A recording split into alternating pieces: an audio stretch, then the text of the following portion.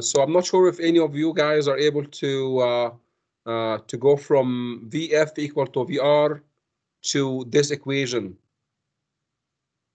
Any any success?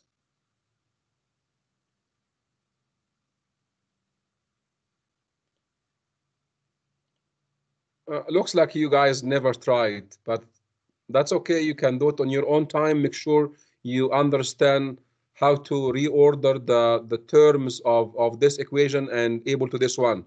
And you Sorry, have a Tyler, reference I, I didn't, I didn't try it because I'm, I'm a little lost with this right now and it's gonna take me some time to get sorted in my brain and I had to get some cookies.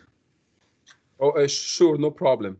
Anybody, uh, anybody else try to solve the problem? Are you guys following? How did I come up with this equation? Don't look at this equation right now. You have to go back and look at individual. What is VF and what is VR? You have to start from here. I know the equation, this equation, it looks scary, but it starts way here, okay? So you have to start from here and work your way down. Anyway, so what I did is I simply did some math. I solved for D. I found D is equal to 0.5 meter. I need to remind you, if you decided to go the opposite way, for example, you decided to go with Newton millimeter, and which means the 1.24 will stay the same, the 500 will stay the same. So which means you're you're saying I want to make my equations, will make sure everything is in Newton millimeter. So you don't have to do this step. Huh? So this will step will just disappear. And uh, for example, like that, okay? And you will live with this equation. However, when you go to this one here, this equation here, so you can, you need to know that everything here, it has to be in also Newton millimeter. And what does it mean? It means three by three is meter. So you have to say 3000 times 3000 this 0.5 and this 0.5 here, it has to be millimeter. So it will be 500 and 500. And finally, your kPa has to be also in, in MPa. So you have to divide this 306 by a 1,000. It is up to you. You want to work in meter or millimeter, that's up to you. If you decide to work in millimeter, guess what? Your equation will be, the those factors will be different and your D will be 500. Okay, so be careful. Uh, you just have to be consistent, huh? So don't change one equation, forget about the other. Now here we go. Here we go. What I did is I there was a bending. I remember when I decided what was my V sub C. Do you remember this? I said it cannot be estimated for now. It cannot be estimated for now. Can I now estimate the third equation after I knew the D? Yes, you can. So what I did is just to ensure that everything is okay. I went back and what I did is I uh, re-estimate the third equation only. Those are the same. I, those are the same from the previous step. The only one which is new is this one. So uh, 4 constant, that's alpha sub s, and then the d is 0.5, and then if you times d plus t, it will give you final v sub c from this equation is equal to. Now let me ask you, are we okay or not okay? We're okay. Yeah, because what all my calcs was based on 1.24 as minimum of the number, but still the 1.24 is still the minimum of the three numbers. So my V sub C is still uh, 1.24. It means everything I have done so far is correct.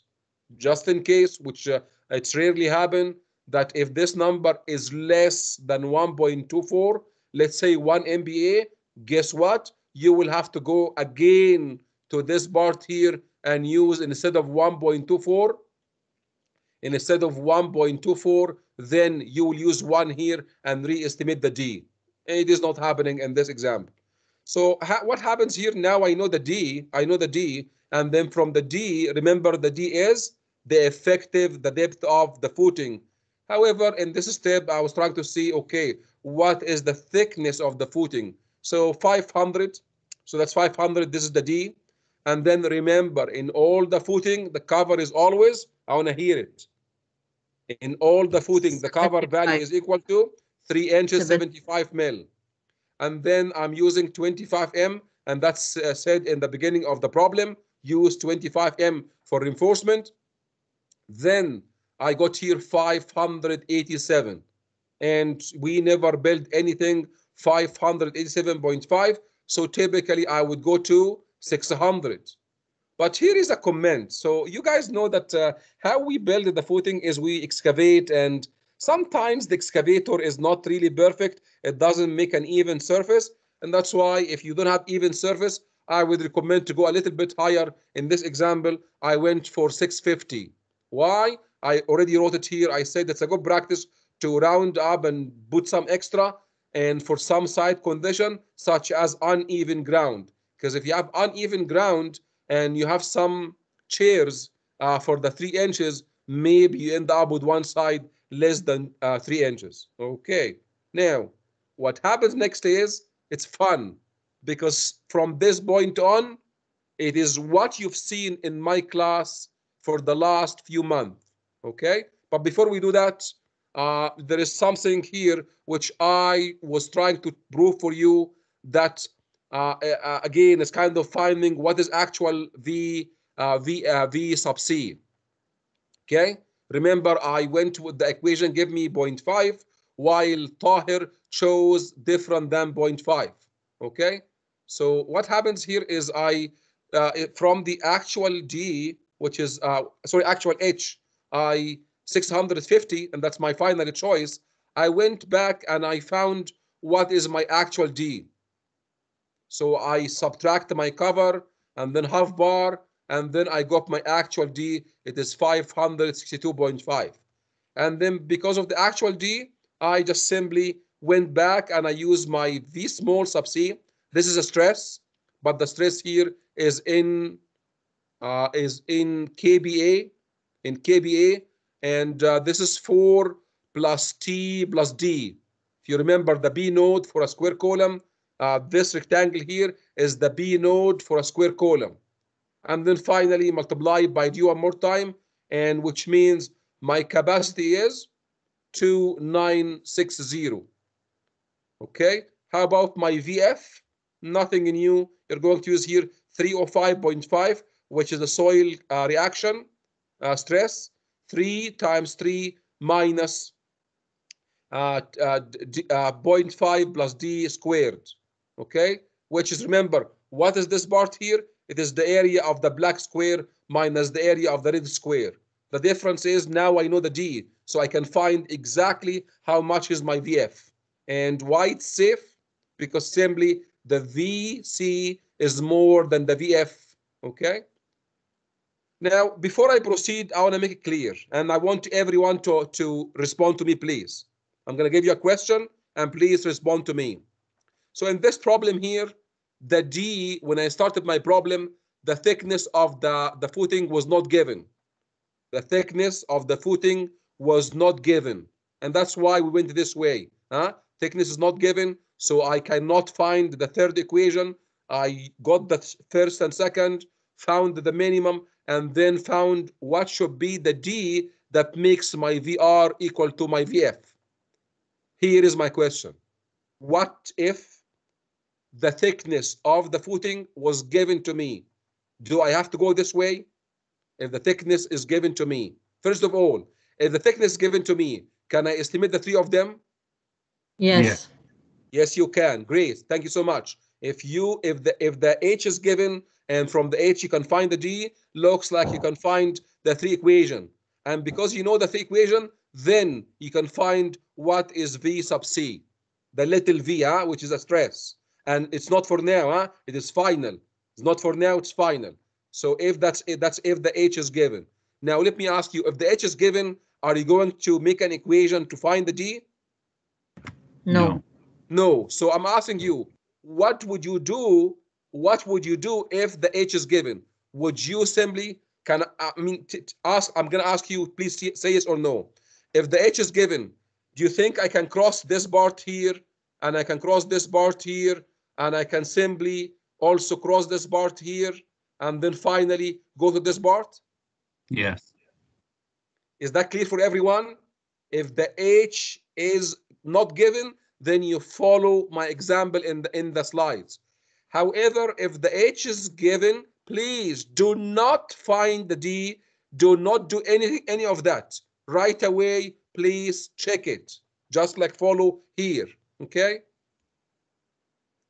Now, uh, let's go to here, which is, as I said, is going to be fun because simply there is absolutely from this point on, there is nothing new because we have done the two-way shear, which I introduced for you today. From this point on, I need to go ahead and make sure that my footing is safe in one-way shear. I need to uh, pick the number of or area of steel that makes my uh, uh, footing uh, safe in bending. Now, anybody remembers how we do a one-way shear design? I think by now you remember. So I'm gonna do it uh, a little bit quicker here. We need to find the D sub V, which is the effective depth for the shear, which is, if you remember, it is the greater of, greater of 90% of the D or 72% of the H. And I found the number here, it is 506. And you know what? To be honest, uh, I can simply say 500 because this just will make my life super hard in math. Doesn't mix like doesn't matter those six millimeter because you will see as soon as I turn this five uh, like five um, 500 mil, it means it means here is my 0.5 meter. Now, how can we find the VF? Uh, you, you know what? To be honest, I would please uh, quickly go back to uh, this this uh, uh, slide here, and this slide here would tell you would tell you what you should do. So let me ask you, what is the total dimension of your footing? Anybody remember from here to there is how much? Is that three by three? By three, so that's 3,000, huh? So that's three meters, three, three meters. Okay, sorry. So this is three meters. Okay, does anybody remember what are the column dimensions? Like from here to there? It's the D plus uh, T. No, no, no, no, the column dimension, the column dimension. I'm not referring to anything else. Column dimension is 0.5.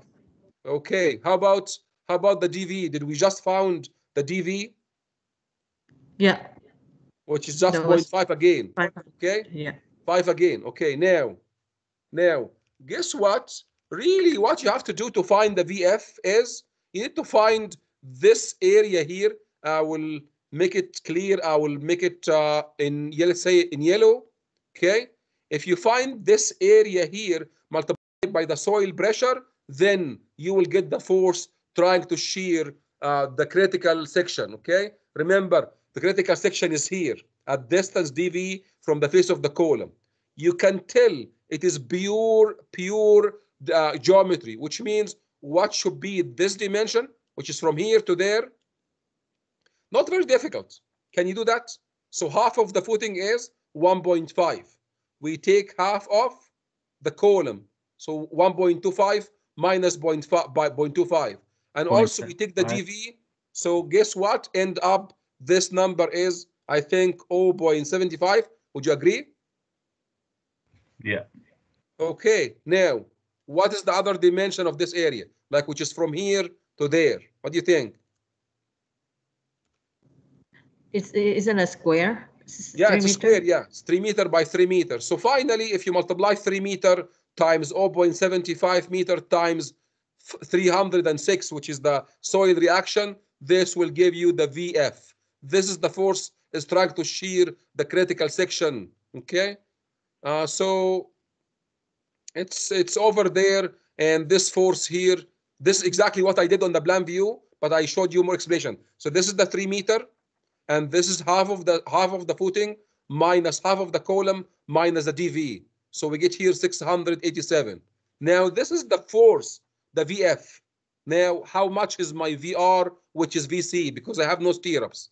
Nothing new. Let's do it. So x5 times lambda, which is 1, times square root of f prime c, and then times beta, when I'm going to tell you what is beta and why, Tahir did it 0.152, but then multiply by dV, multiply by 3000, which is the width of your slab, and then finally I divide by 1000 to turn everything into kilonewton.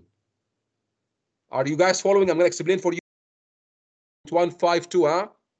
Okay. But I'm asking you, Do you know why it's 3000?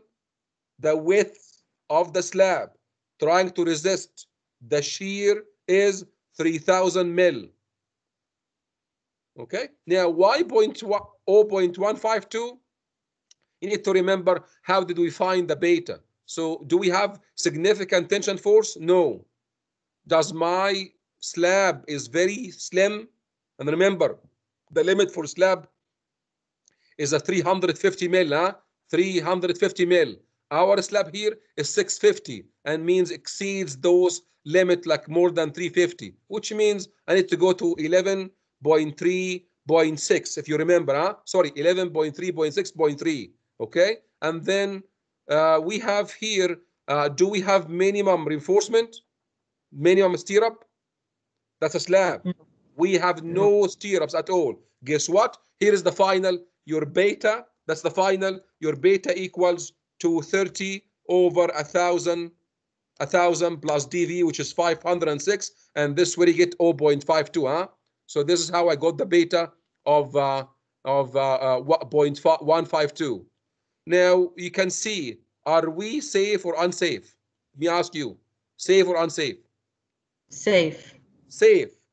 My slab or footing can take and resist up to 750 by the concrete only without stirrup, while the force trying to shear the critical section is 687, which means we have extra, even extra capacity.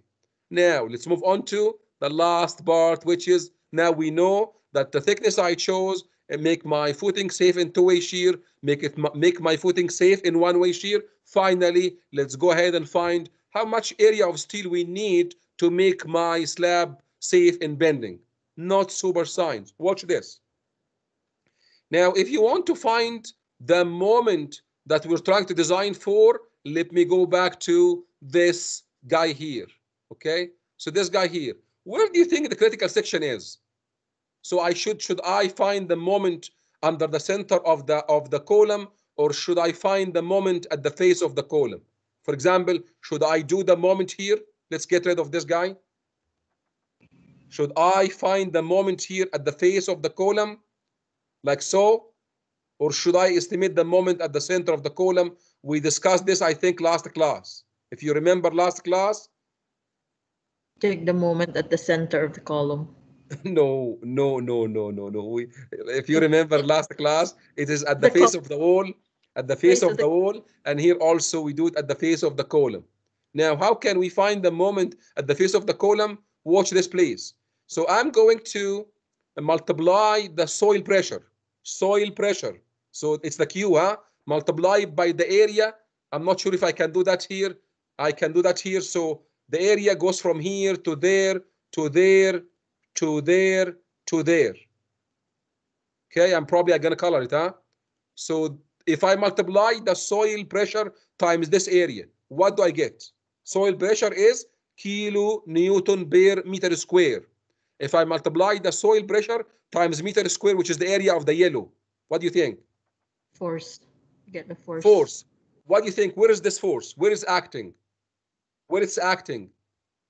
At the vertical direction. It's acting Vertical- here is acting here vertically and it's at distance which is simply uh, let's find some numbers huh so we know that this dimension from here to there is how much this is the 3000 huh or 3 meters 3 meters okay? So this is the width of your of your footing. And now let me ask you what is this dimension? Can anybody help me with this dimension? Look at the geometry. The total the total width of, uh, length of your uh, footing is three meter. And my column is my column is 75, isn't it? Is 1.25. 1.25. It is Yeah. half of the footing minus half of the column. Half of the footing minus half of the column so 1.5 minus half of the column is is 0.25 so here we have 1.25 if i multiply the 3 i'm going to write it here if i multiply the 3 times 1.25 times 306 what do i get Like the kilonewton. That's force, huh? And what is the lever arm of this force? Is very simple. It's 1.25 divided by 2. Hopefully this is clear. And that's exactly what you see here on my slide. So I estimated the moment for you. It is 305, which is the soil pressure, multiplied by the 3, that's the width, multiplied by 1.25 1.5 minus half of the column square divided by 2. I got how much? 716. And I'm sorry, there is a mistake. Okay, here. So the mistake is the units are kilo newton meter. Huh? So this is a moment. That's not a force. Please take a note. This is this is not a force. This is a moment. Kilo newton meter. Now, once how can we do the design? It was a long shot because we finished the beam design and slab design probably a month ago. Hopefully, you still remember how we do the design. And please, in the final exam, don't ask me and say, Taher, you said that the final exam is not cumulative. Because some of you will say this is bending design. I don't know. You have to, you have to remember how we design because maybe in the final exam there is a question on the spread footing and you can see there is a little bit of flexure design. Okay, at the very end. So the K, the K, uh, very simple. You divide the moment divided by the B d squared. And remember, what is the B? What is the width that resisting the bending moment? 3000. And then what is the D? This 537.5. And uh, th- I need here to explain for you why this. Okay, let me tell you what's the detail of 537.5. Okay, so I'm gonna say D here equal 650. What is 650? H. Great, thank you so much. Minus, I'm gonna say here 75 minus minus What is 75? Cover. Cover, thank you. Thank- Minus cover, that's cover, thank you. And then plus 25 plus 25 over 2. And that's the only time I will do that. Okay, guys, here layers of rebar, two layers of rebar, two layers, huh? One layer of rebar is going into one direction and the other layer is going perpendicular to the first layer. Now, which one is critical? Which one is critical? Which one has less lever arm? The top layer, huh? The top layer. So what you see here is the effective depth for the top layer. So 650 minus 75, the cover, minus the bottom layer, that's not stirrup, huh? that's the bottom layer, minus half of the bar. And this will give you here uh, 537.5 millimeter. Please take a note. Now, what you have to do is you find the K, and I still have it open here. So this, you still remember this table? Yes, sir. Okay, now because you have the table and you the key is 0.83. So what you do is you go here on 25 MPa and then you go here uh, in between 0.8 and 0.9. And what do you think? How much should be my rho, my reinforcement ratio? Interpolate. Can you do i- something is it- quick without like exact number? I did it quick because look at this. If my k is equal to 0.83, it means it's one third. Huh? It is one third between 0.8 and 0.9. So one third here is 0.01. So the reinforcement ratio is 0.25. And that's what you see here. The reinforcement ratio is 0.25. And once you know the reinforcement ratio, what you have to do is you simply multiply the reinforcement ratio, multiply the width of the beam, that's 3000, multiply by the effective depth of the beam, which is this number here. So we get here 4031 millimeter square. Remember, same as a slab, we have to make sure that the slab has area of steel more than the minimum. So let's look at the minimum. The minimum is 2 per thousand multiplied by the area gross. And the area gross is, it is B times H. So 3000 times 650, we got here 3900. Are we okay? Uh, Yes, sir. Yeah, we have here 4,000 and the minimum is 3,900. It means this will make me above minimum. Now, finally, what you have to do is find the spacing, find the spacing. So the width of your footing is 3,000. We need an area of 4,031 and the and the, the area of every 25 m is 500 so this will give you a 372 which means it's a 25 m at 350 millimeter on center. Remember, also same as a slab, the maximum spacing between the the, uh, the bar is, if you don't know, it's over here. In a in a two-way slab, One point four times H times. it is here. It is here. The spacing is here. So 3H or 500, our H here is so big. So if you multiply 3 times 650, this will give you a huge number. Remember, you cannot exceed 500. And are we okay? Let me show you. Are we okay now? Yes, we are okay. 25M at 350 on center, that is okay because we're below the 500. And then finally, you will see uh, if you turn this into how many bars, we need 825M each way. Remember this name? Each way, because we have two layers of rebar. There is no main and secondary. Both of them, main. Huh? And finally, let's look at the details. Let's look at the details here. And uh, so you can see here, I'm providing two layers one layer going into this direction and the other layer is on top of it perpendicular to it 650 that's thickness the weight is 300 we have clear cover of 75 mil and you can see here we have 825 m each way each way now how can we connect the column on top of this footing we add something called dowels and those dowels we typically go down and bend them like a kind of L shape or starters, sometimes call them starters. How many do we need? Look at the how I wrote it. It is column dowels to match column reinforcement. We match it by number and by diameter. For example, if this column has, uh, let's say, 625M, so the, the, those guy here will also have to be 625M. If those are 825M, so those starters or dowels will have to be the same number, same diameter. Okay. Now that is this is how we detail this bar. Finally, does anybody remember this disclaimer from yesterday? Please take your time, read it. You will find this disclaimer of under every cross section that has a footing. We need to say native, undisturbed soil, free of organic materials, with minimum allowable soil bearing capacity of 250. Remember, it's not constant. It is whatever I assumed in my design, I have to put it here. And then finally, to be field verified by geotechnical engineer on site. Also, something you will see, uh, probably you will see, you will show here uh, ground level, and then also you need to show here the minimum foundation level. Huh? So for example, you'll go here and you will say, for example, 1200 uh, millimeter minimum. Now, this is what I wanted to say in, in footing.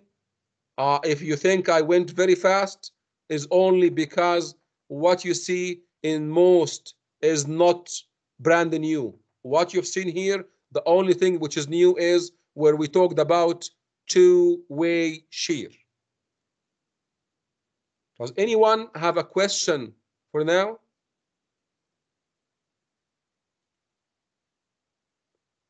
Okay, so